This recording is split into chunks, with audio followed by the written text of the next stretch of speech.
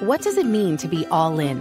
It means you're confident you're doing the right thing. You commit to it. For Dominion Energy, we're all in on helping the environment. We're all in on clean energy, all in on solar, all in on building the nation's largest offshore wind farm. We're even capturing the methane from local farms to create renewable natural gas. We're not doing it because it's the easy thing to do, but because it's the right thing to do. For your family and friends, your neighbors and your community, for the future, for our planet. Dominion Energy. Actions speak louder.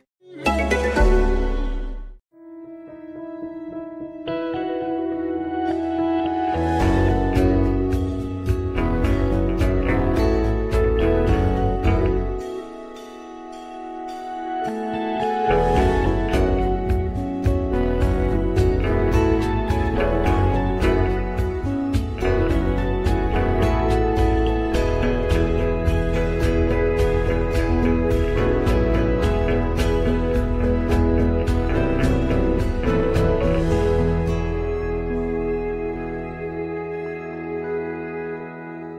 Hello and welcome to the Blank Podcast, the podcast where we delve into those difficult moments with some well-known guests.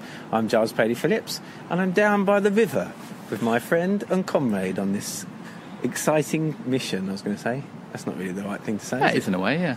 Is it a mission? Kind of. We've got sort- permission to find blank moments. Yeah, okay, I suppose it is. Yeah. So on this important mission, like MI6, to find blank moments, is Jim Daly. Wow, what an intro. And Giles, it's not just any river. This is the River Thames. It is the River Thames, and we're quite well way down the river, aren't we? Yeah, we're in Windsor. It's a very nice part of the world. Yeah, we've just been interviewing Her Majesty. Old Liz. How you doing? Yeah, see what her blank moments are. Yeah. Probably quite a few, to be honest. Yeah, yeah. I'd imagine down the years. No, I, I, I, I joke. We, But we are meeting someone with a title. We are, and and a sporting royalty, I would say. actually. Sport, yes, sporting royalty, and our first ever peerage. Is it peerage? Is that what it's called? Um, Well, he's a knight. no, because that's a lord, isn't it? That's a lord. Peerage, so yeah, not, I don't whatever- know. Knight, is knight higher than lord? I think so. Yeah. Yeah, oh, I think yeah. Definitely. Is it? Because the lords obviously get to sit in that place. But the knights are like that house. have swords and stuff. Yeah, they do. Yeah. So Um, they, they must have other. Have they got act- actual powers that they can? Can they don't strike? know. We should have asked Can they him that. smite people? we should have asked him. I don't know. But anyway, it's this week's guest is Sir Nick Faldo. so Nick Faldo, yeah, the most highly decorated um, European player since World War One. We nicely done. Yeah, very true. Yeah. Yeah. yeah, an absolute titan of the game of golf. Oh, incredible! Yeah, in I mean, more ways than one, really. Yeah. Over a um, 30 year career, just won pretty much everything Yeah. there was to win in golf. And Yeah. uh, really lovely guy, lovely to meet, uh, um, meet up Well, this is the thing because he had a reputation for in his career for being quite sort of insular Mm. uh, and aloof with people. But actually, he was really nice with us really today. lovely, but yeah. he does talk about that that it was actually a bit of a bit of a tactic, actually. Yeah, yeah, it in was his part career. Well, yeah, I guess he had sort of like a. Well, it wasn't sportsmanship as much, but it was part of his sort of golfing persona that he Yeah. was like that. Yeah. Yeah, yeah. And that was actually one of the points we wanted to talk to him about today, and it was very interesting. And he was open about that and about lots of different things, really. So, Yeah. yeah, it was a good one. Another one, another sporting person for us. Yeah, it's great. And um, we should add that we were recording in a cafe. We were, Um, so yeah. there will be a bit of back down now. There was a lot of clattering of cups. And, It was a bit, it was a bit noisy, but not Yeah. too, not too bad. But hopefully, you know, you won't mind that, will you? Well, maybe for the listeners, it'll be like they're sat in the cafe with us. yeah, absolutely. On well, the, try on the table next to us, eavesdropping Yeah. on the conversation. Yeah, and this interesting conversation about golf. Right, well, let's just get straight into it. This is Sir Nick Faldo on the Blank Podcast.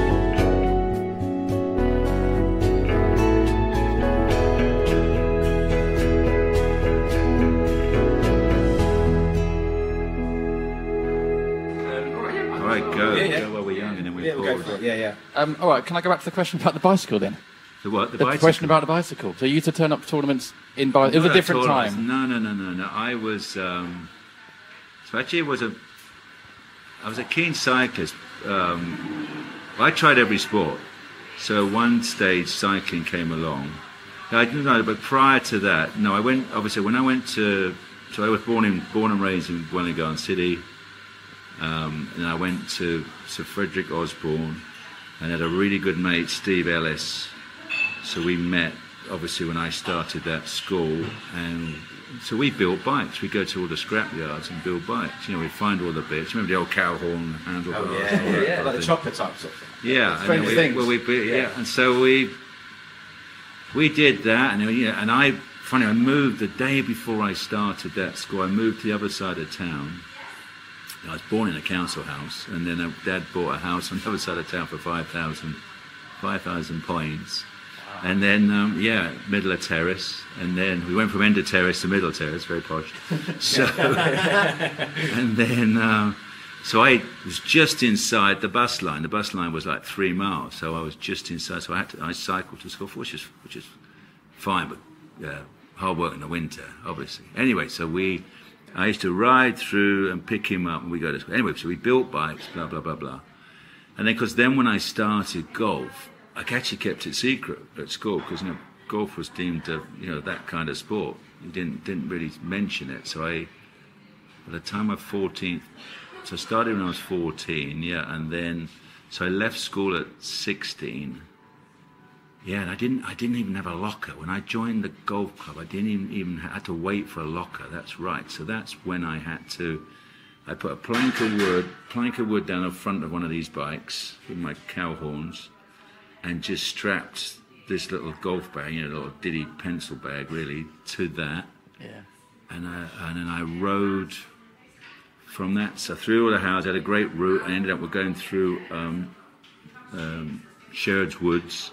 So I had a route through the woods, and then I'd come out by a road by the golf club. So I had it all worked out.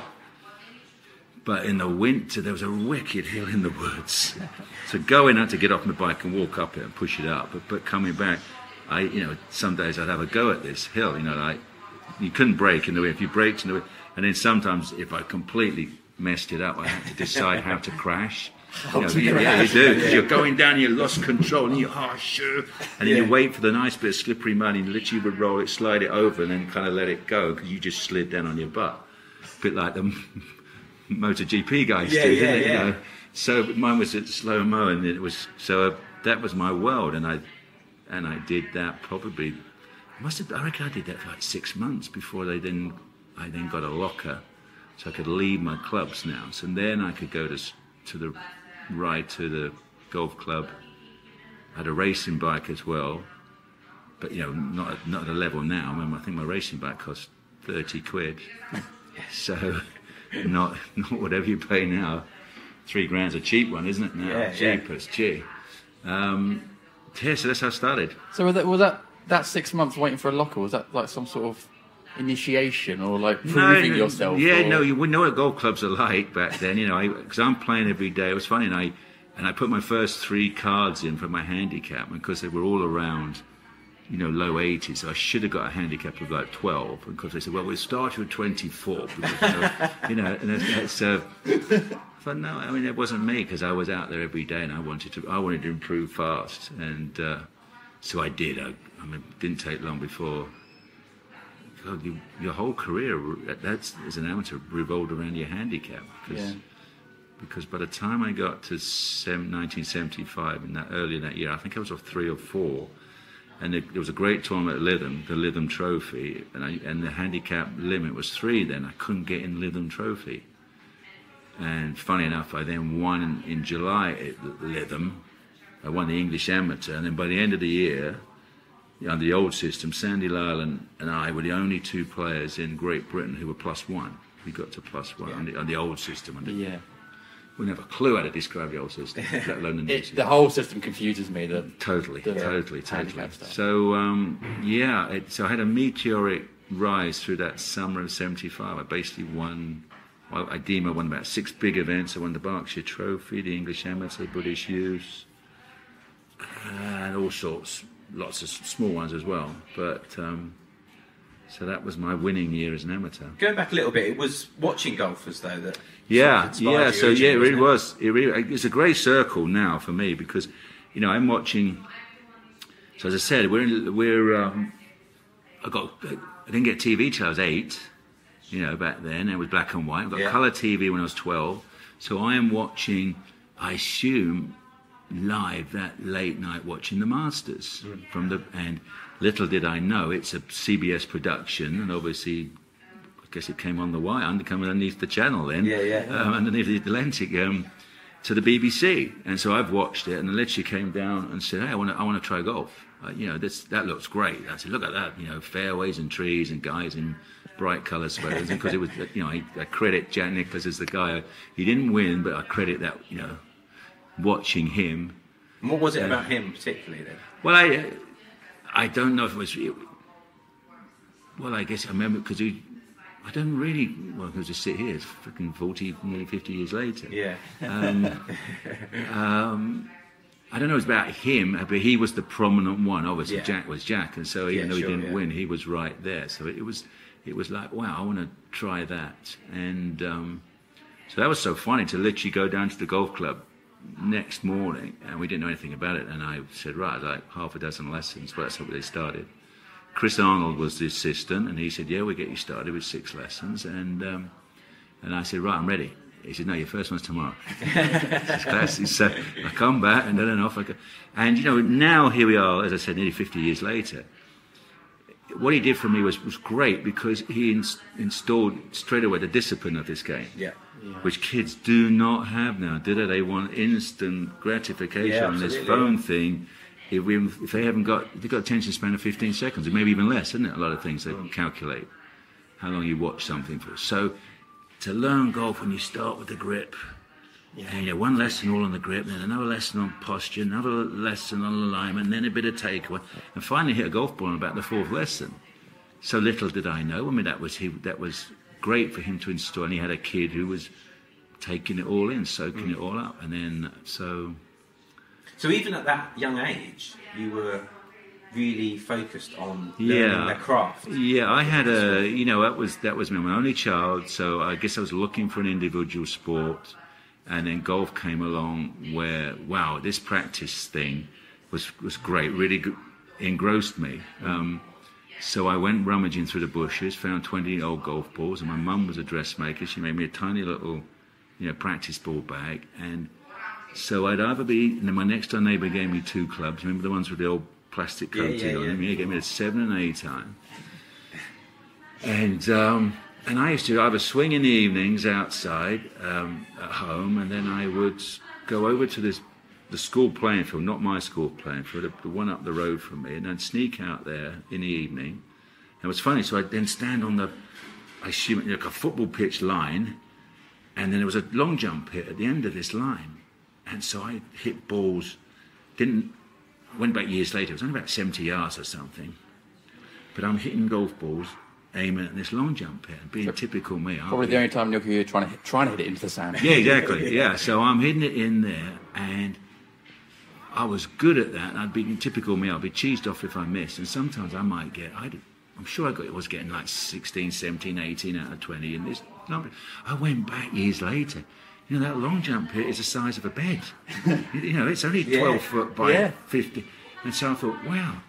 So look at that for targeting, as we Yeah, know. So. I was I was already learning of this thing about aiming at the target, and then. Um, so fast forward, so as I said, then I, so I was very lucky. I fell in love with golf. That was it because I loved the practice. I thought this is cool because every, as you know, every shot is different. Which means every, every moment in golf is different. So, so and then I'm getting quite engrossed. And then by 15, and a year later, I actually made the decision. That was it. I want to be a pro golfer. So, um, which is pretty darn cool for a 15 year old. Yeah. Yeah. I mean, what was school like? What did you, were you academic? I love school. No, I wasn't. School. You know, some people were widely read. I was thinly read. So, uh, so stealing an Eddie Izzard line. Um, you know, I struggled at school in that. I was good, good with my, my hands and all that sort of thing. And then, and then once golf came along, that really got me interested. And it's quite funny because, um, and then I guess I'm daydreaming. My school report, Nicholas seems to have lost attention. Sees me gazing out the window. Well, yeah. And then, then once they brought um, when algebraic, algebraic equations started, I thought, Oh. I thought, how the hell is this going to help my golf game? and then now we've got Bryson. I had great fun with Bryson DeChambeau, and you know, um, I, I punked him on uh, saying, I, you know, I, um, when I was at school, I didn't tell it was me. I said, there's a kid at school. I said, once he started algebraic equations, he thought, sod that, I'm going to the practice ground. What should he do? And I said, well, and he gave me this lovely long answer. I said, well, that kid was me. anyway, so um, so what happened next? So yeah, I left school at 16, which was another major decision from my parents, wasn't it? To you know just talk to the Ian Connelly was our professional, and they were basically saying, "Well, he seems like he's got something," and um, so they let me leave.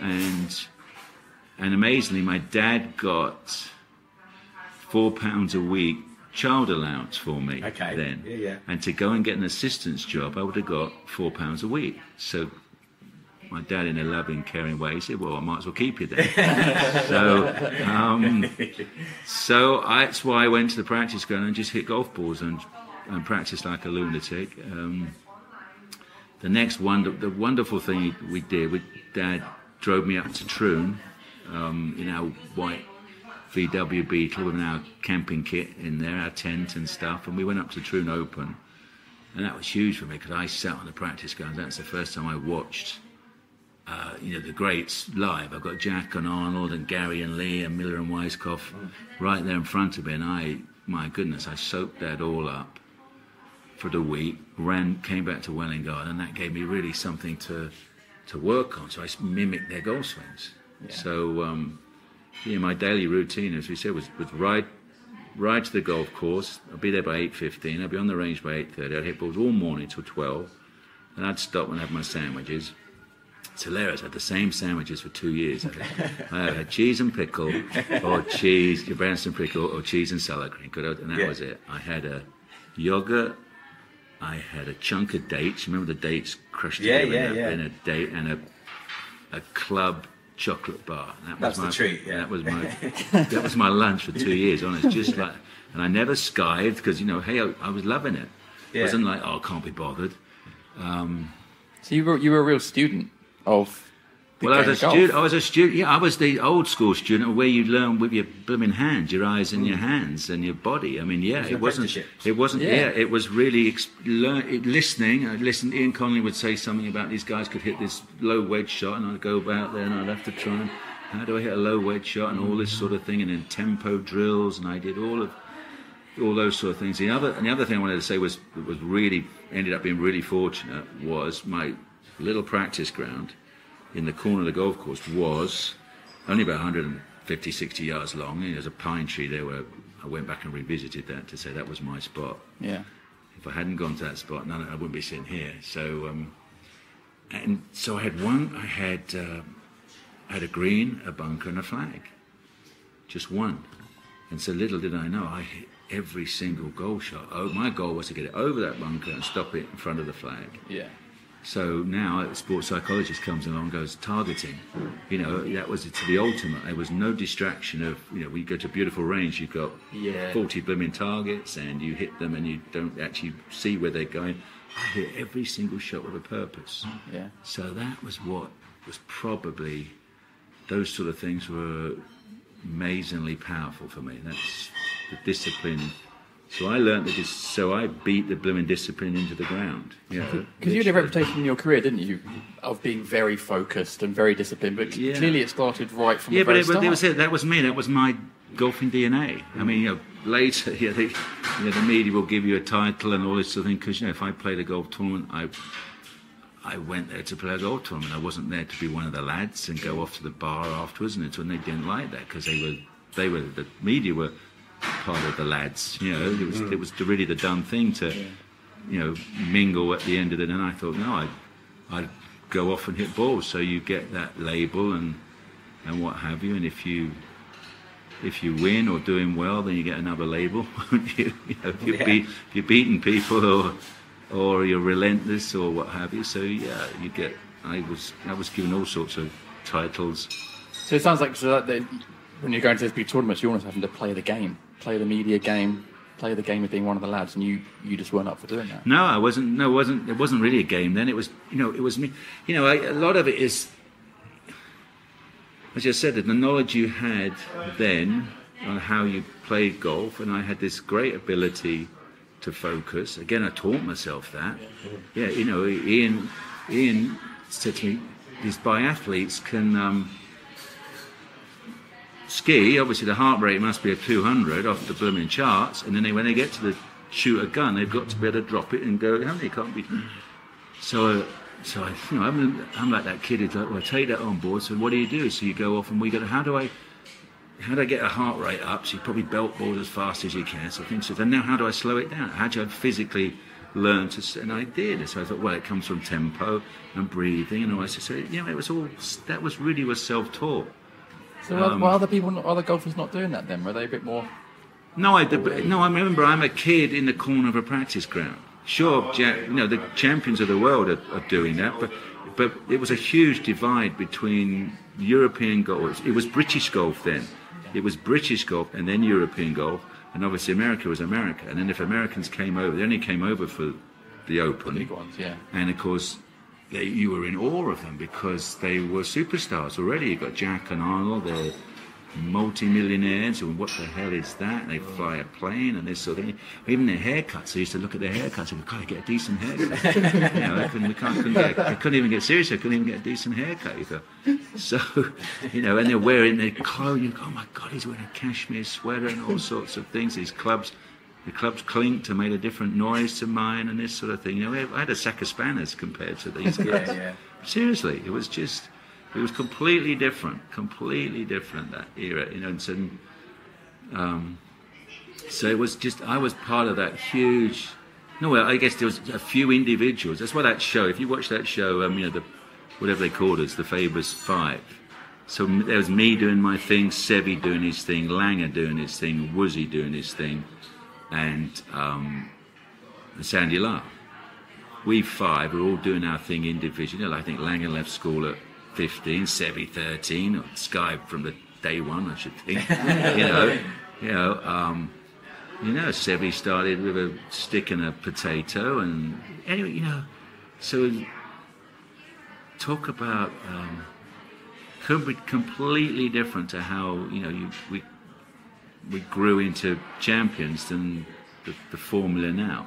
Yeah. Completely different. Almost sounds like um, movie scripts. The way you're talking about you and these guys coming from. Yeah, it, well, it was when you see how we almost. how he started. I mean, was he was a it was a lorry driver as well to a bit of time off. You know, I fitted carpets and things like that, um, and you know, it, it I guess it, it that's what builds that builds you, doesn't it? Builds your mm. character. and what. I'd love to have it, had it a lot easier. I mean, I'd love to if I was going to, you know, as I sit here now, wow, if if, if if that Faldo kid had all that determination and commitment, and I had the equipment now, who knows what might have happened? You know, just because I mean, you, you you were- don't you don't you don't know. I You mean, were I pretty that- successful. yeah, well, well, yeah. Well, you, you wonder whether it's less or more. Or, you know, it's like I, I interviewed Gary Player once, and he said, "Just imagine if I'd been bigger." And I said, "But Gary, that was your determination. The fact he five foot Yeah, seven, sure, yeah, yeah. or not, probably not." He had to stretch himself to get to fight. And I said, that was your determination to beat everybody because they were all bigger than you. And he said, oh, you're probably right. I said, well, yeah, if you'd been the same, wouldn't have been you wouldn't have been Gary Player. So yeah, you don't know whether all of that because the, the biggest, the hugest difference is what I, I harp on the media now is that we had bottom line we had to win to change our lives. So that was the real difference. So, so when I went out on tour, you know, um, my first season I won two thousand pounds. I lost money. I, I won two thousand pounds. I finished fifty eighth.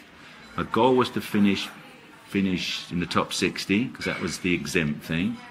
So you didn't have to do those dreaded Monday qualifying. And then I, um, so I finished fifty eight. I won just over a couple of grand. So I lost money because of expenses. Yeah.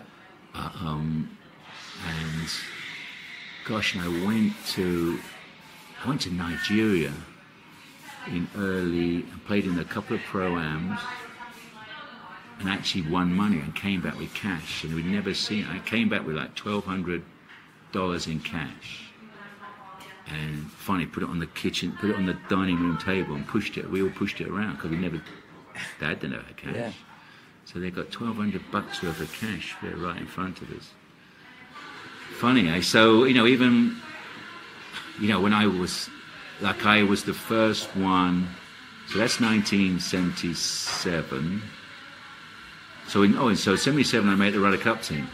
And that's if, so I, that was my mission and i think i won about eight or nine thousand pounds and i made the Ryder Cup team And you were only about 20. and I was 20 then. I was so then uh, then I was the youngest. Yeah, I was the youngest.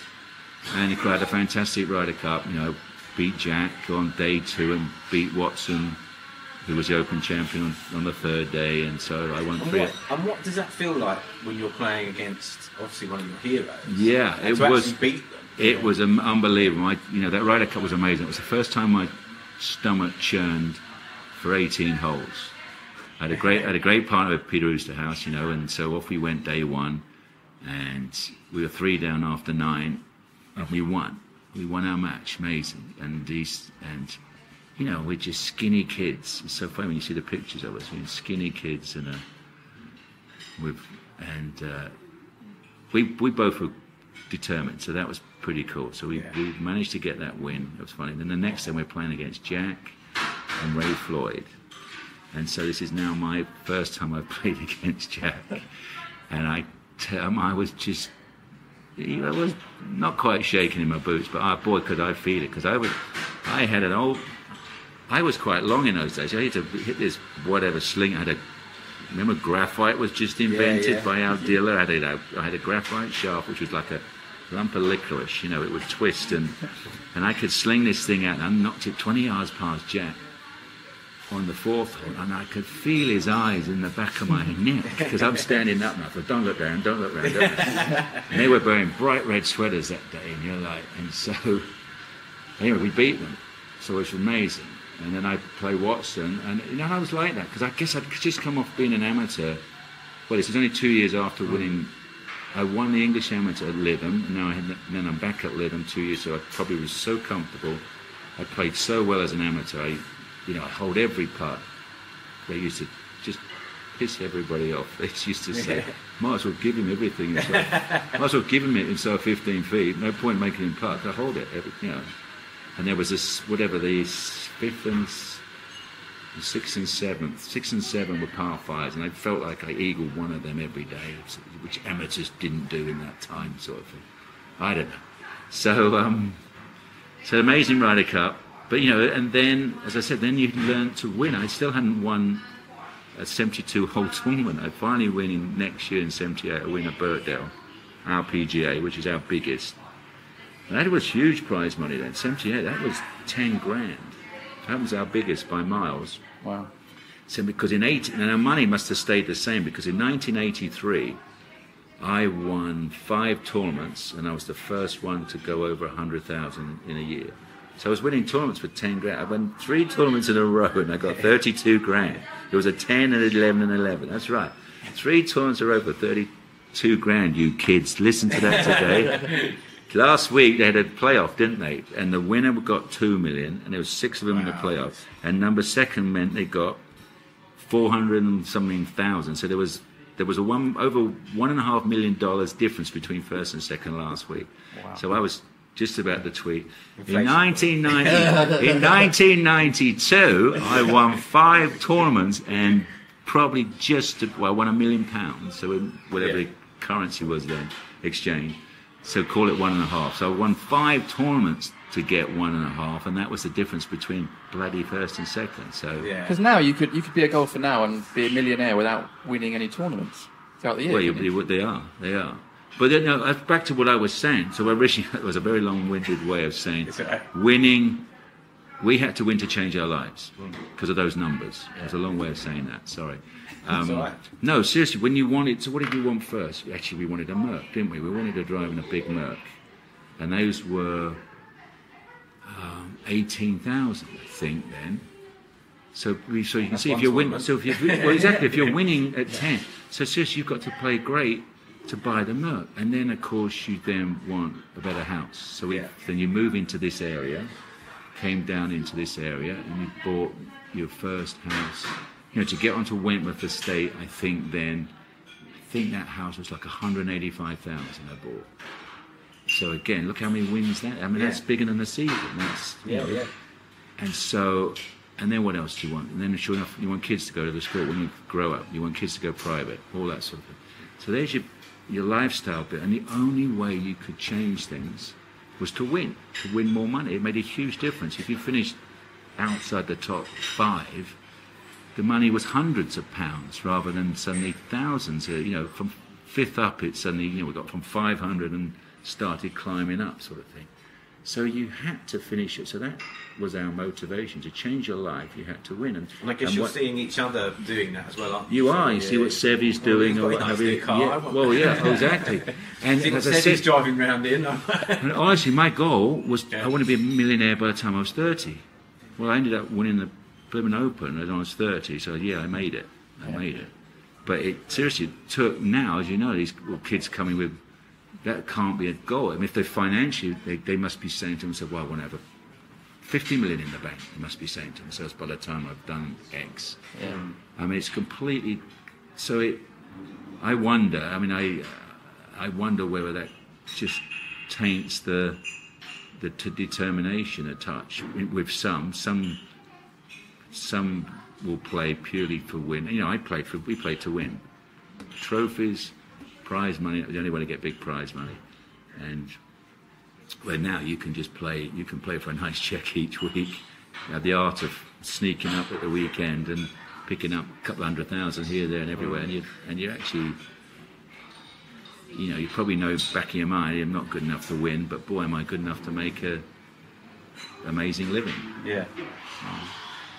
There was a point where you, I know, again, um, we talk about the media, were a bit harsh on your on your career in that you were starting to not progress maybe as much as you were when you first started. You started you, the, the, the whole El Foldo stuff where Yeah, well- to, and, and, and at that point you you started to have a think about the way you were playing.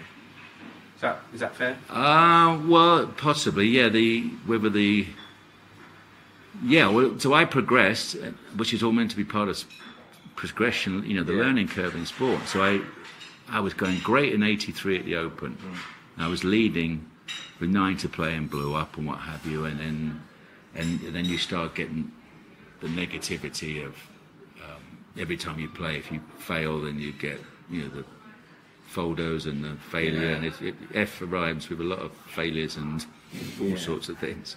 So, um, but then you know, then personally, I, then that little voice said, you know, I haven't got it, I haven't got it to get to the next level, and that's when I went for the the, the swing change, the, the, the rebuild, which um, you know, in hindsight, was pretty stupid because I started mid-season. I started in May of eighty. Um, May of '85. When I, I met David Leadbetter before that, and we chatted a few times, and I said, "Right, I'm ready. Chuck the book." I just missed a cut at Muirfield Village, Jack's tournament, and I, I said, "All right." So you know, it was pretty daft to work on a new golf swing mid-season, working on a new backswing with an old follow-through. It did not work, so I just went downhill faster than you know lead and then and that was a, I called it the dark days because I was constantly practicing, working on something. How I kept, I had, I had amazing, I guess my gift or whatever, amazing determination. You know, I've never, I never threw the towel in. You know, I pride myself on like I, I actually threw the towel in in two tournaments and ended up winning one of them, which is quite funny. yeah. So I pride myself like I wouldn't give in and I kept going and I would practice like a lunatic and then go off and fail and come back and practice and fail and practice. I mean, it's that went on and on and on, and I had a couple of, I had to, I had to dig deep because I nearly lost my card in America. And I had to finish second in, uh, that was the end of '86. I had to go to Disney and had to finish second to keep my card, and guess what? I finished second. So it's funny that, isn't it? And then, um, and then it finally clicked in spring of '87, which was big. Well, it was tough because I was in Atlanta um, and Jill, my wife, had, had then had uh, just flown in, and they turned left and went to Augusta. Everybody, the media and the player, and I turned right and went to Hattiesburg and played in a, one of their whatever they called them then, their second tier tournaments. But I shot 467s and finished second, and that's when it all clicked, and my, my game had clicked, and that was literally nearly two years later. So that was brutal how I went through that because I lost my, I lost nearly all my sponsors. Pringle, good old Pringle, I mean, my famous sweaters, they stuck with me. But again, that was stupid. That was a twenty thousand, I think it was even eighteen thousand pound contract then. did a lot better when we took the Faldo range to the world, and I got a pound for every sweater. I did an awful lot better.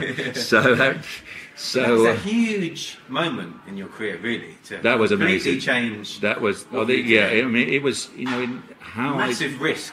Yeah. horrendous risk. I never believed. I always believed, and even though I could see kids in the other guys when they weren't kids, you know, we were we were at the be at the, the baggage carousel, and I could see them rehearsing my moves. And on the other side, they're thinking he's lost the plot, you know. And sure, I would probably say if I saw a kid doing that, lost the plot. Wasn't the way to do it. I mean, now I would say, yeah, if it's mid-season, you and you really want to run, you go to a, you take your sports psychologist, you take your physical guy, you take your masseuse and what have you, and and uh, and your swing coach, and you go to a bloody tropical island and you sort it out, and you could be back in two months. Yeah.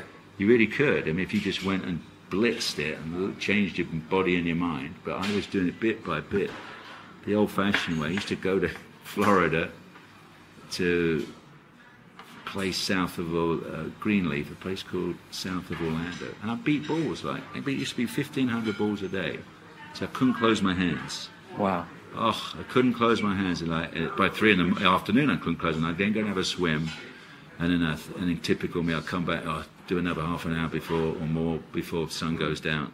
And seriously, I, so I guess that that's very much the old school way. Like Hogan said, the answer's in the dirt.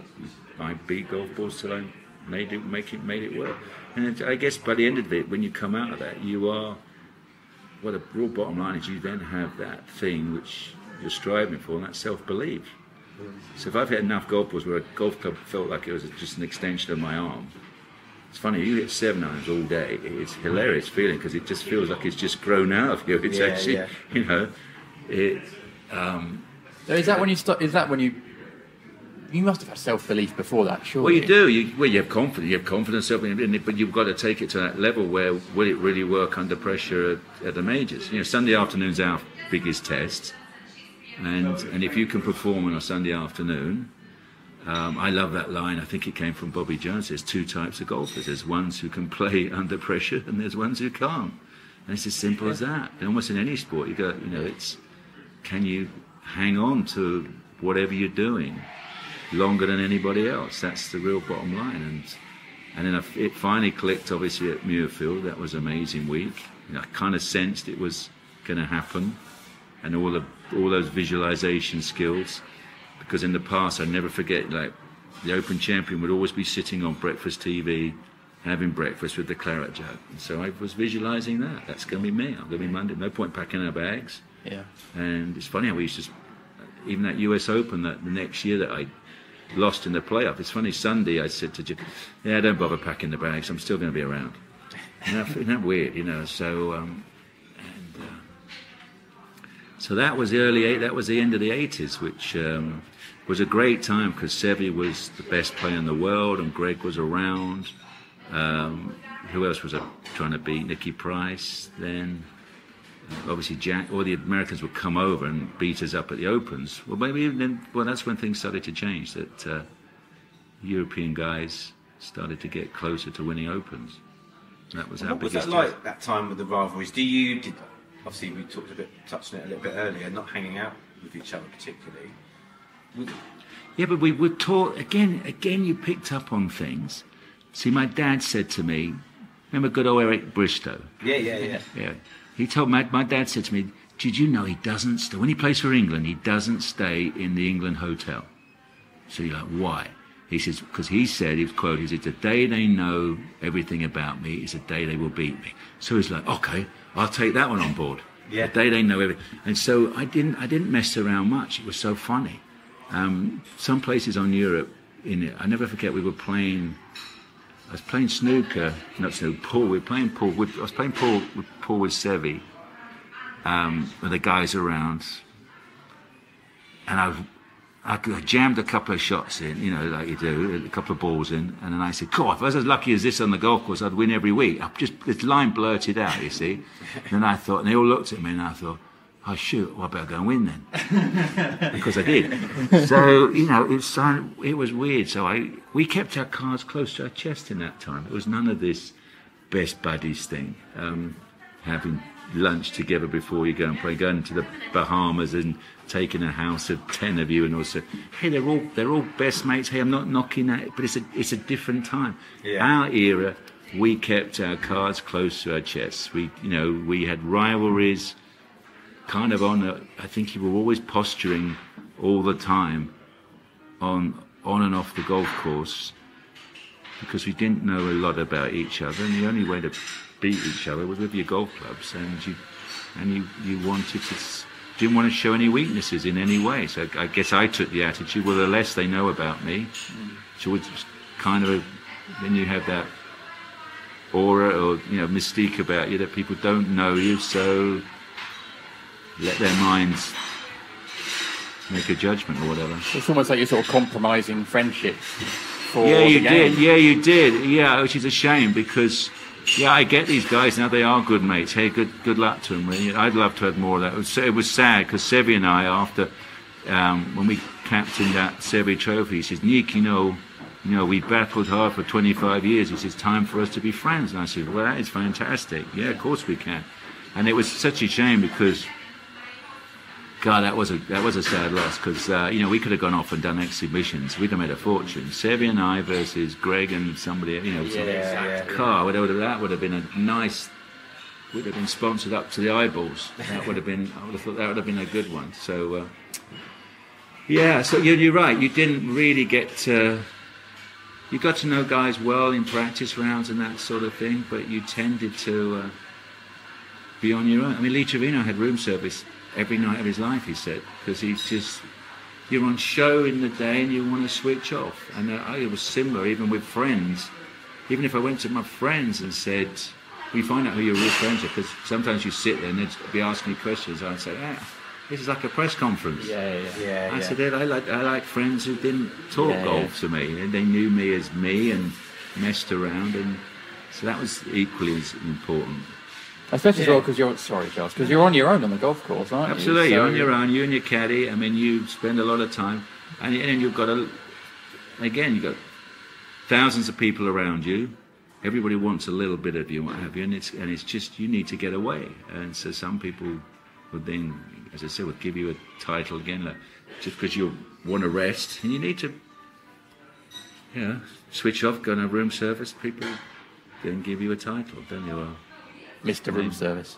yeah. Well, so what's it like when you win a tournament? And obviously, it's an individual sport, and you know, you know, like with team sports, you've obviously got Yeah. fella Yeah, around. yeah. I imagine actually once you get back to that hotel room, you've got your the jug on the side. Is Well- it? Is it? What does it? How's that feel? Is it a bit of a come down? Is it? You know, 'cause Yeah, you want to no, celebrate it well, you, you, necessarily. no, you're right. A lot of a lot of those victories are, especially in golf, we don't quite have.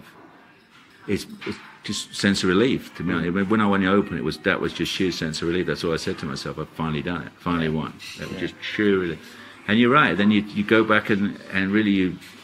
You're the one with all the thoughts. I mean, your caddy's right there with you. Your family are on the outside of the ropes, going through the ringer and that Yeah. sort of thing.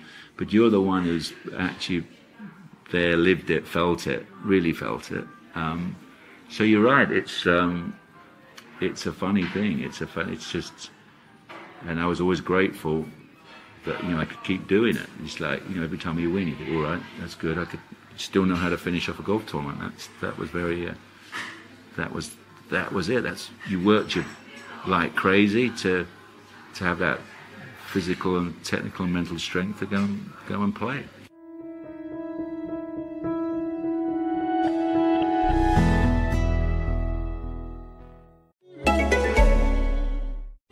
All in on clean energy, on solar, wind, and natural gas from renewable resources like methane capture at local farms. Because we're all in for our planet, a cleaner future, your family, and we're all in for generations to come. Dominion Energy. Actions speak louder. I guess in golf, as with all individual sports, you have more blank moments, I guess, than team Hmm. sports. And you're on your own out there. There must be moments where you really wanted your family to jump over the ropes, or you got your caddy, I guess. But it, it must be very difficult in those moments where it's not you missed a putt or whatever. It's not going yeah, right. you can look. Yeah, we didn't quite. it's not even like tennis where you turn and look at your coach. Yeah, right? You know, exactly. why, what did, why did I miss that? For you, you, it's so much you. It's so much.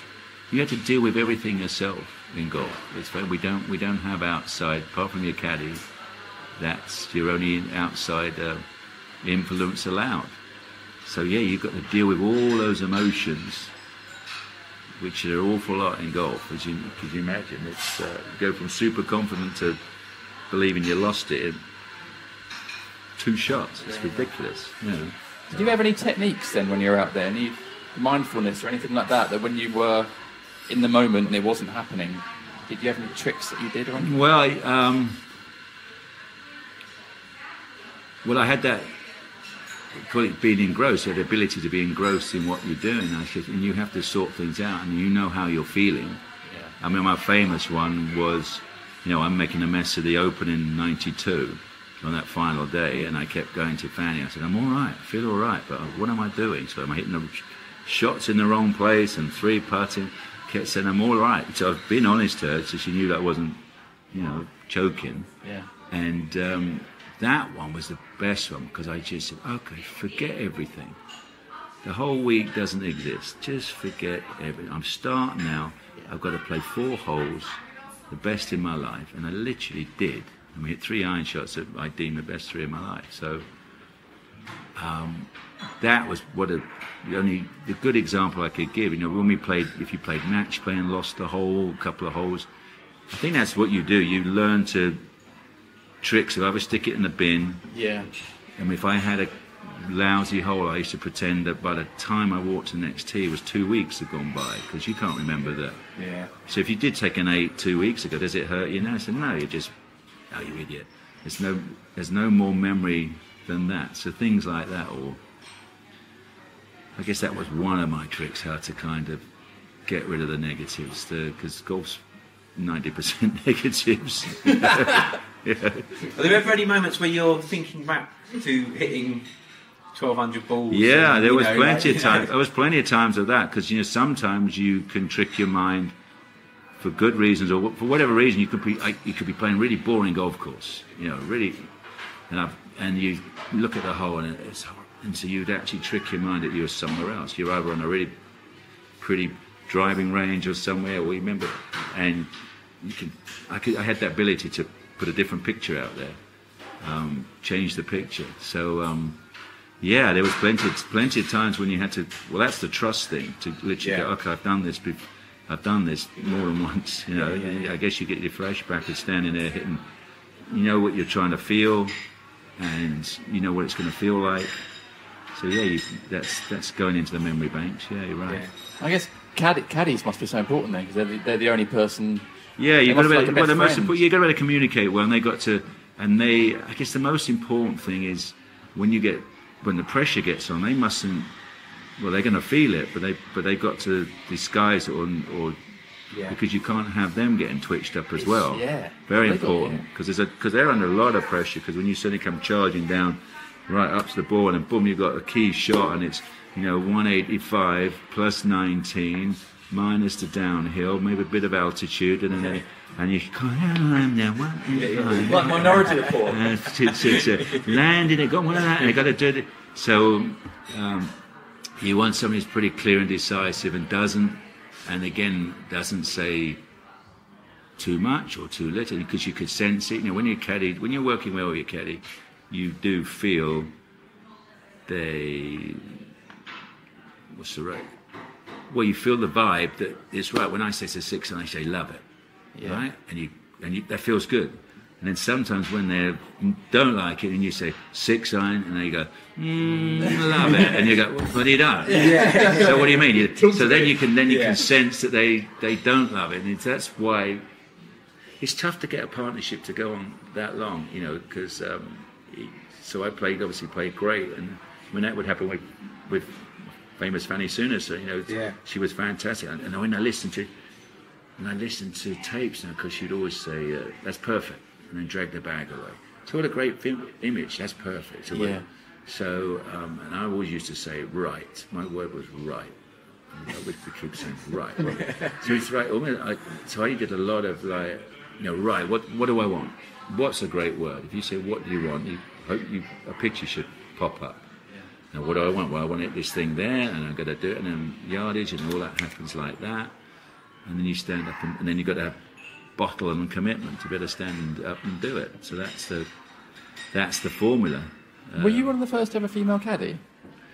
Well, not the first to have one, but first to make one successful. yeah, yeah. There was a couple of. Uh, Fanny came over with a, her f- friend, um, I think her name was Vivian, uh, and in the mid 80s, and they toured around Europe looking for a job, and then I, and then I saw her at end of the 80s and offered her the job to start the 90s with me, and. Um, so talk about getting thrown in the deep end because within a couple of months we were at Augusta. Yeah. Yeah, at Augusta, and she was like the first female caddy to bowl in there, and they didn't even have doors on the johns. You know? in the caddy shack, and, Yeah. they walk in and they got all these loos open door, and so they had to change a few things for her on that, and. Uh, and then, of course, the, the giant boiler suit, the white, famous white boiler suit, she puts a belt round it and rolls it up, and they didn't like that. and it's bloody hot inside there when it's 85 Yeah, degrees yeah, Augusta, you know. So she ends up in a, you know, so she has her own style. So which is pretty cool. But yeah, she uh, she paved the way. But Yeah. what was it about her that, that No, it was funny. to It, it, was- the funny thing was I I didn't. I just um, professional. I was looking for somebody. I like the way she, you know, you can tell by the way they work and what have you, and and um, and to, she's teetotaler because you know you get you get the odd caddy who's arrived, yeah, which has happened, and they they had one too many and they got the wrong yardage book. What, during tournaments? Yeah, really. It was, a, it was the good old days of caddies. The good old the, the caddies were staying in hotels for two pounds a There's night. a lot you of, know. I was thinking there's a lot of a uh, lot of- pockets there's a lot of pockets on the, on the yeah, yeah. So they get. So anyway, um, no, she was just a good, bubbly character, very enthusiastic. Uh, you know, we had to do things the old-fashioned way. The yardage books were hand drawn and that sort of thing. So she was very professional, committed, and and uh, yeah, I threw in the deep end. Within Yeah. a couple of months, we win the, the Masters, and then we're storming on in the Open. God, That was some first year. So I honestly, honestly, honestly never thought about it. You know, it was like, No. hey, it's a new new partner. Off we go, and the and the you know the wave behind it was was amazing. But we got on. I'm playing great, so Yeah, you didn't worth think about it. When it's working, you don't think about anything. It's it was great. So this might sound like a weird question, but uh, we were going back through old interviews a moment. I was listening to the Gary Lineker one. And when I asked Gary Lineker, when did you feel like you were really good Yeah. at scoring goals? Yeah. And he said, he said 27 when I scored four goals in the Clasico between Really? Barcelona and yeah. Real Madrid. Yeah. Did you have a moment where you thought, oh, I'm really, I'm really good at I'm this? really good at this now. Yeah, that's a good point. Yeah, I think I'm very proud that the, I went to the the Masters in 1990 with the intention to defend. So I got Fanny brand new on the golf bag, and obviously made that happen.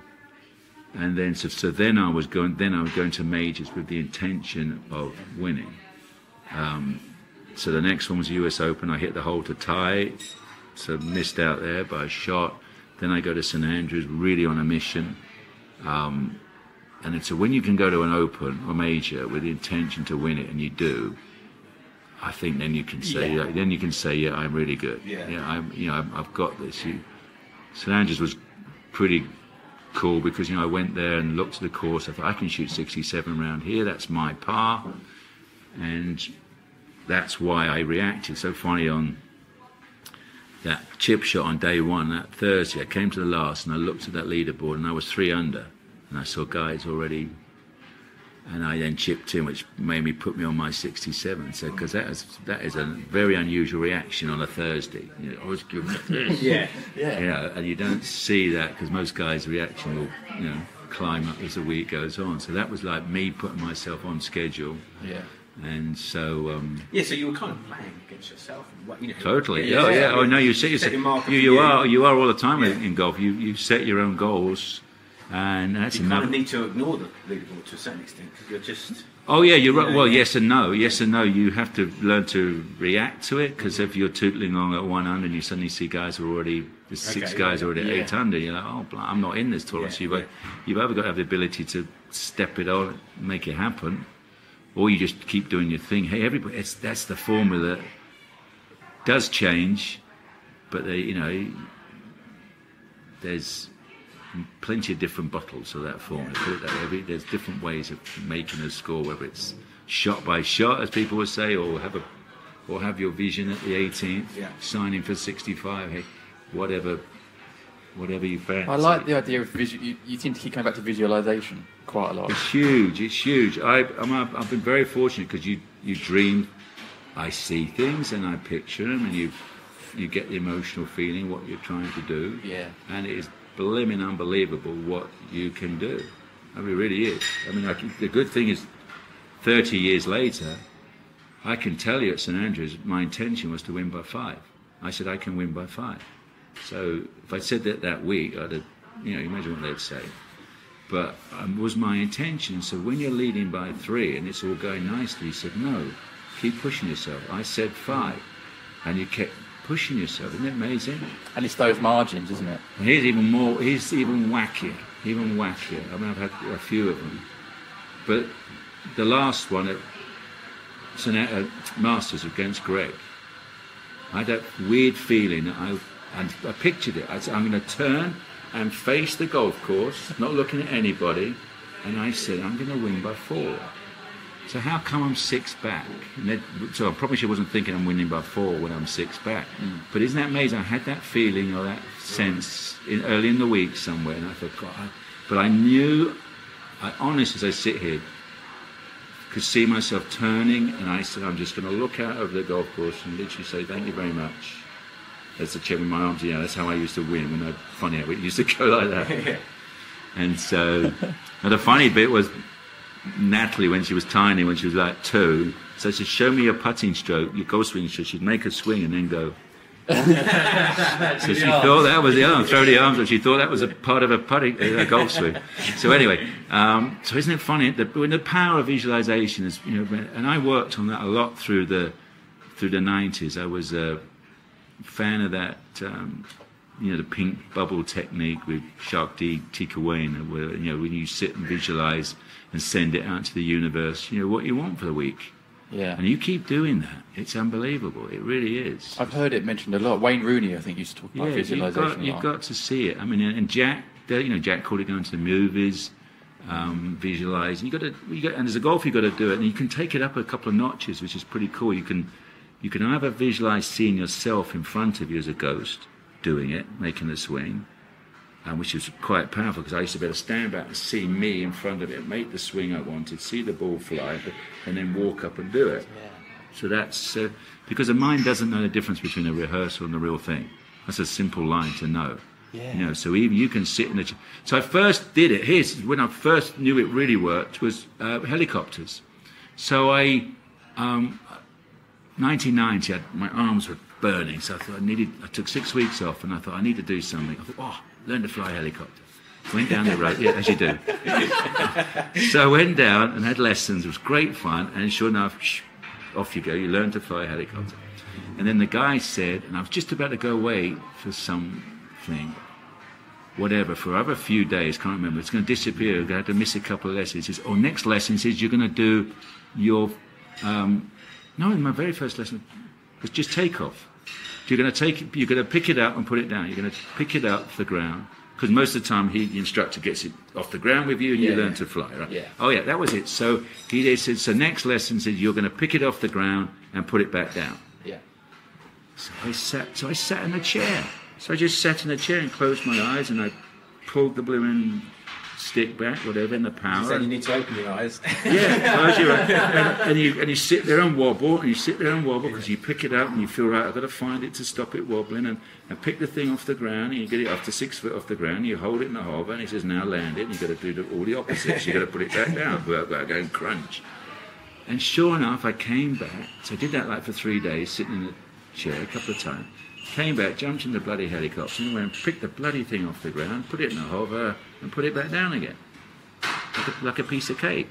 Yeah. Like as if I. And he looked at me and I said, Yeah, I've been thinking about it. so, Yeah, yeah. you know, there's a, there's a wacky example of something completely different. So you should try, you should just test yourself. You should. Yeah. You should think, keep thinking of doing something really cool like that, and then uh, But that's what I'm thinking as I'm hearing you talking, because there are people listening to this podcast who do a variety of They all do it. I mean, do you think could Messi, apply it? Messi every time he holds, uh, no, hold, kick, kicks one of these fabulous bloody free kicks in the top corners, he stands there and sees it. See, he goes uh, Yeah. goes whoosh in a curve over the guy's head up there.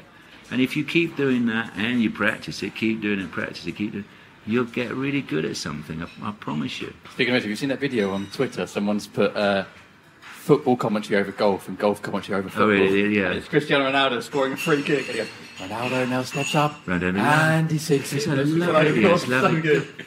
Soccer clap. They did that moons ago, didn't they? They did. They took um, Whispering Ted Lowe, didn't they? So they swapped that with Murray Walker. yeah. Murray, Murray doing snooker. right hand corner. so it was quite funny. So I should do that. I should practice I was going to doing. say, yeah, yeah. Yeah. I should That's practice doing other sports in golf. In golf, there you go. yeah. I should do it. I should think about. it. I should do that for CBS. Should I be a new thing. could do the I could do the NFL Oh, yeah, that'd be perfect. and yeah, Tom Brady takes a couple of steps back and throws it quite nicely into the air. Lovely, lovely trajectory, and it lands on Derno, who charges, who charges, who gen- gently crosses the line and puts the ball. Touchdown. Yeah, no, that is, I think it's going to work. All right, next, where are we? Um, I've got a question actually from my dad. I was Oh. telling you off air is is a keen golfer Yeah. And also, and called John Daly. Oh yes. and also, So the name of a golfer. now, your, am I right? Your dad was an accountant.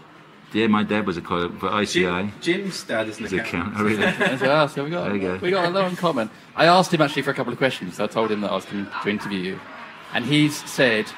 So you mentioned Sandy Lyle a- earlier. yeah. You guys were rivals in amateur and then professional days. Yeah. Is that rivalry a help or a hindrance that that alongside your career? Yeah, well, it's always a help, guys. Always good to have guys that you. Um, hey, everybody was a rival. My goodness, as- we were talking earlier on. I mean, that we had to battle to beat each other, and some every week. God, you know, and you. When you think how we did it, I mean, it was again, it was like it was good feelings on the practice ground and go and play, and if it didn't work, it was back to the practice ground. You didn't, you didn't have any way of um, checking things like we do. Everything was feel. Mm. And didn't have a, you know, we got great toys now called TrackMan and things like this to mm. watch the ball fly and tell you exactly what you're doing. Now we would like, oh, Caddish, well, it looks like you're doing a bit of this, you're doing a bit of this, Gov, and you need a bit of this and a bit of that. And, and you know, it, so. Uh, it, yeah, I enjoyed that. I mean, competing. Golf's so tough. I mean, they they trying to build up a couple of matches, but golf's so tough to get two guys to be really on form that you've selected. You know, you always get a great tournament, but that's two names. You rarely get the two favourites um, at the top of the leaderboard, two rivals as well. Yeah. So, um, yeah, he beat me a few times. I beat him a few times. Yeah, his career's stopped a little quicker than mine. Yeah. Because they sort of you sort of push each other, I guess, don't you? If, if you Well, that that era. Well, everybody. We had Seve to compete against. My goodness, so that was the the first shake-up because by the time we came on tour at 19, Seve had already won about three national opens, and you know Seve was the kingpin. So we you you gauged yourself very much with him best you could, but um, he had that ability to make a score, and so he was great for us because he went to America and then he wins the Masters, and that was probably huge to think. Well, okay, I play against this guy every week, and Augusta was not the place where a European player really was going to go and win because it mega fast greens. We didn't play on anything as quick as that. The only if you ever went to Australia, but that's only a week or two. You know, you, you needed to be on that surface quite a few times rather than just bowling up. So, but he made his. Again, that was a mental game, isn't it? If Seve Yeah. can do it, Yeah. and I can beat Seve here and there, we'll get to Augusta, and you suddenly view it differently. Find a find a way. I always thought Sandy Lyle was such a great name as well. Should have been like a detective in Hawaii Five O or something. couldn't? Sandy Lyle, starring Sandy Sandy Lyle. Lyle. Great name. I was going to say, um, obviously now you're in a different part of your Yeah. life. Do you do you miss competing? Well, if, yeah, unfortunately, you know, I'm, my day was, you throw out a number 30 years ago, and then you go, well, that's half my life ago. That's the one that hurts me. Mm. And I think, but you know, I'm, but I'm all right with it. You know, I've, you know, you have, to, unfortunately, as a, every sportsman, it tails off. You can't keep doing your sport. And golf's a cruel one because it actually, we can keep doing with many sports, you're just not quick enough, yeah, are you? You know, Usain Bolt, sit, I'm done. He Yeah. goes and he's not going to go another. And Yeah. and tennis players are the same. If you're just not quick enough, generally, if you're not quick enough, Yeah. but we have a different kind of sport where you it, you it keeps that carrot dangled in front of you that hey, tomorrow you could shoot a 65, Yeah. and you keep blimmin' going for it, and it gets harder and harder to do that, and uh, and you know, and then I was out there for what 28, 29 seasons, and then you finally it's like, okay, you've had enough. And whether it was in the stars, it might have been because I, I tell you another wacky thing. I was in, I was in Thailand, and you go and visit one of those. Um, we went down at the temples, and you go and visit those. Uh, Grand Masters of Wisdom or whatever, that, you know, Okay, and he's got his, and he, and so he's never doesn't know who the hell I am, does he? Not in a million years. He's So big gi- fan. Exactly, hardly. Didn't go. Oh, I saw you. so you give him your, just your date and when you're born, and then and off they go with their charts. And then he goes, "Oh, you've been doing a profession for 29 years." And I go, mm. Yeah, and he says, "You're going to change and go into entertainment." And I went, Wow. where do you get that one from? Well, you've been watching. You've been watching. You've been watching CBS. Anyway, so that was kind of a funny thing to then think. Yeah, maybe there is a time to change and do something different. Um, you know, went to the TV world, did a couple of little things, but I, I ABC then asked me to go in the tower at Troon in 04, and I went up there for the weekend. I enjoyed it. They enjoyed me. Uh, here we are, crumbs. I think I'm, when am I supposed to start in year 16th season, 14th season for CBS. Yeah, 14th season for CBS next year. We've all got we've all got two more. They're, they're busy negotiating the whole new. All the contracts are being renewed with the tour, with the PGA Tour. So who knows what happens next? Um, but yeah, I've I've enjoyed it. It's I did say to myself, um, you know, I had a rough time for about five years, and when you change from being a sportsman, you know, successful, and you can't do it, it hurts. Yeah. And it didn't, it's not an overnight thing. It probably took me took me about five years. A bit of a grieving process. Yeah, it, it was a it's it's tough because you just can't do what you love. I, I absolutely loved it, obviously, and and t- television probably helped me because when I got up there, I said to myself, "Do I'm not sitting up here wishing I'm out there." So that was a good one for Oh, yeah, starters. a that was a very good. And then I started watching and thought, "Cool, I could do that." And you know, you know, when th- there's a there's all these little things that got to happen you know, kind of outside the office of playing really great golf, or maybe that's all it is, just out playing great golf to win. Um, uh, there's this kind of a sense of timing to it as well with golf, isn't it? You you hit the right shot at the right time and all sorts. Anyway, and I thought, oh, that was I could do that. I could go there and fathom out the you know how to make a win happen on a Sunday, and then you then you fortunately get that word gratitude finally hits you, and then you go, okay, I'm really grateful for what I had. I had that career. I played. I did pretty darn good. Sure, you would always want to think you can do better and what have you, but pretty darn good. Now in a, I'm in a new career. I want to be good at this as well. That's always that's always me. I want to, you know, quite happy trying to be the best at something. And um, I guess you can't quite visualize. Visualization doesn't quite come into just being in a no, studio funny. in front of a camera. No, no, you, you do a little bit because obviously it's live television, and you you know, and Jim Nantz is, is obviously all these guys are, are brilliant. Started off with Mike Tirico and you know, obviously Jim Nantz, and I've got Terry Gannon now, and I've had Kelly Tilghman and and all sorts, and um, and they are the gift of just giving them a picture. And I thought you should think that about Chris Tarrant as well. Oh, yeah. Remember Chris? When you Yeah. could listen to a three-hour show of Chris Tarrant, there was never an um and an ah Yeah. or a hesitation, and uh, and I thought that's brilliant. How can you do that? And I got the same with these guys sitting next to me, and ladies as well. They they rattle away, and I think it's brilliant. So it does help, try to help improve me as well. I'd like to think, try my best to copy them. Uh, and you know, it's, it's- as I said, still you, doing you, it, same you, you still sit and visualize. So if you, if I want to be better, well, I've got to visualize. Can I talk as freely and purely as Nantz? But he could talk for I teased him and I said he.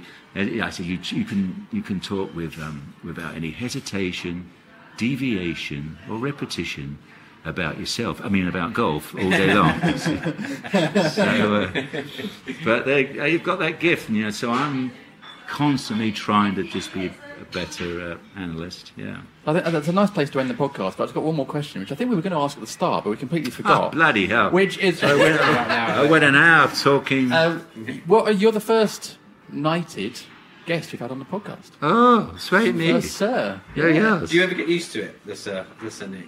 Do I get used to it? Yeah. Uh, I do. Some people Yeah. I can sense. Uh, I like it when some people are very comfortable. Uh, you know, just recently I've been listening to people calling me Sir Nick all the time. Yeah. Sir Nick this, Sir Nick. and I think, well, that's what it was actually meant to be. Um, we're asked by the government to uphold that tradition. Yeah. You know, some people think you're pompous ass. You know. I said, well, no, you've been given it, and then yes, you do get it in writing. We'd like you to uphold, use it correctly, upholding, and then I try to correct people. I think people get the wrong. I, see, in America they call it Safaldo. Oh, You know, when, you, when, you're, and I, when you arrive, and I, and It does sound like a knife. It does. Safaldo. So I said, well, no, hang on. I said, so I go, so now I could try to, say, Yeah. if you want to call me it, it's it's even lighter. It's cynic. It's a bit more Yeah. fun than Safaldo. Oh, I get it. Because most hotels, when you arrive, sort of thing. And of course, then some people in TV, you know, they wouldn't put my, they put up Nick Faldo, and then I, if I ever said, well, actually, it really is uh, Nick now. But, and then because some people are who the, who the friggin' hell does he think he is? Yeah. But, you know, with 10 years on now, it, Yeah, I was exactly, knighted 10 years ago across the road. Yeah. Um, and so, yeah, I'm, I'm, I'm quite, quite happy with it. It's Yeah. part of the furniture now. Well, Sir Nick Faldo. Yeah. Yeah, thanks. Thanks for being on the Blank Podcast. Yeah, that's very cool.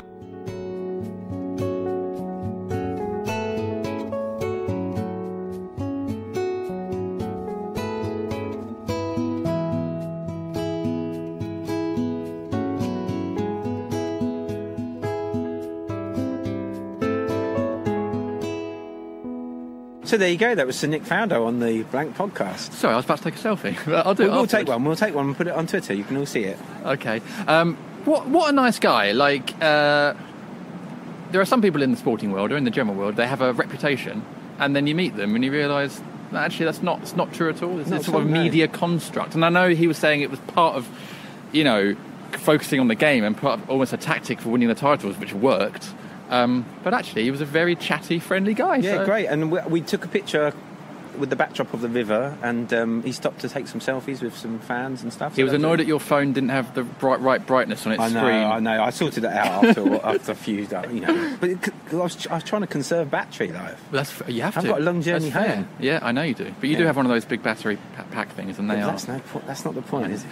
Anyway, thank you so much to Sir Nick for uh, Yeah. joining us on the podcast. And Yeah, it was a really great chat. You know that I love the sporting people on Mm, these podcasts, uh, even though I'm not really into golf, and I find it fascinating. All the bits about the visualization and being in that moment and making time stand still, and the little tricks he has to kind of that thing about forgetting, pretending the last shot was two weeks ago. That's Yeah, brilliant. I should, I might apply that to Sunday League. The when- when I visualization, yeah, yeah, the, picked. the which is very visualization stuff was very, very interesting. We talked some, about some sort of techniques off air as well. The the purple monkey was one he was talking about. Yeah, um, purple monkey. Yeah, yeah, which was which sounded interesting. So look at look up purple monkey Yeah. on Google and see what you come up with. But yes, a psychological kind of I really hope idea of sort of changing Purple Monkey how doesn't you're mean anything else. No, maybe don't look up. yeah, maybe don't. Just trust us that it was a good visualization technique. Um, But we have some tweets. hey, of course we do. Okay. Yes, um, I've got one here from. Uh, well, their handle is Music Lover, but it's Tracy J037. Good And- handle. yeah, and she said, uh, "Wonderful episode with Melvin Odoom on Blank Podcast with Giles and Jim. Melvin has such a positive energy and brightening my morning. Just do it. Couldn't agree more. Ah, Melvin was great. Yeah. Melvin. Melvin's the sort of person, if you're having a bad day, just think about Melvin Odoom Yeah. and you'll have a good day. And one more tick on the Nike uh, branding. yeah, strong branding, to be fair. Very strong branding. Well, thank you, Tracy. That was a lovely tweet to receive. Um, am I going to do another one, am I? there is another one here Okay. actually from the glamorous vegan. Glamorously vegan. Oh my god, I love yeah. that. It says uh, listening to the Blank podcast with uh, you, Giles Paley-Phillips, interviewing And Jim. interviewing Caroline Lucas. That this is one of my favourites, Caroline Yeah. Lucas. Really interesting interview. I like how Caroline is very passionate about her views, but is open to listening and learning about the perspectives of others. Definitely. I mean, those are good skills to have in life. I think as a politician, you have to have that. Um, yeah, and it's uh, very, um, obviously, very apt at the moment because we're uh, head- heading into an election. Oh, yeah, that's going to be interesting. Hmm. Caroline Lucas. Ah, the only pod I've got nervous about interviewing. She was like my rock star for me. the People's Prime Minister. She's just so the- great. She's just yeah, brilliant. Yeah, she's great. Imagine if she was PM. Everything would just be sorted, wouldn't it? Be Country would just be fine. Yeah. Anyway, thank you for those tweets. Yes, They're thank lovely. you as always. It's always lovely to hear from you. So please do, do keep them coming. Yeah. Our handle is, Oh, I get to do it. Um, Yeah. At Blank Pod. and you can find us on Instagram and Twitter and Facebook. Uh-huh. All at At Blank Pod. yeah Oh, I enjoyed that. And our email address. Is blankpodcast2018 at gmail.com. So if you want to send us an email, that'd be. Ooh, We'd happily receive You that. could become the first person to email. Wait, So we've never had an email. We've never had one single email. I don't think this is indicative of just us. I've, I have heard other people on podcasts saying that they don't receive I think people prefer social media and tweets Yeah, and it's stuff. quicker, isn't it? It's It's. I mean, we get it's nice. We do get nice ones. But if you Yeah. you know if you're having a bad day and you want to talk about a blank moment and it's Mm. longer than 240 characters, Oh yeah, please do Send us your, an email. We, we, would happily share your blank moments. On, Yeah. it'd be nice to do that. um, anyway, that's the end of this week's pod. It is. Yeah, I'm going to go for a walk down the river. Ah, fancy joining me? Yeah, Moon River. Thanks for listening, uh, and we'll see you again soon. Yeah, thank you.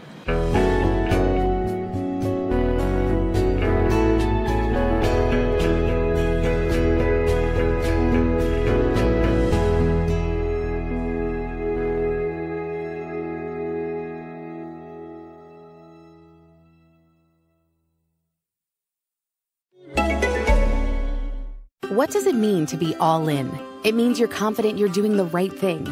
You commit to it. For Dominion Energy, we're all in on helping the environment. We're all in on clean energy, all in on solar, all in on building the nation's largest offshore wind farm. We're even capturing the methane from local farms to create renewable natural gas. We're not doing it because it's the easy thing to do, but because it's the right thing to do. For your family and friends, your neighbors and your community, for the future, for our planet. Dominion Energy. Actions speak louder.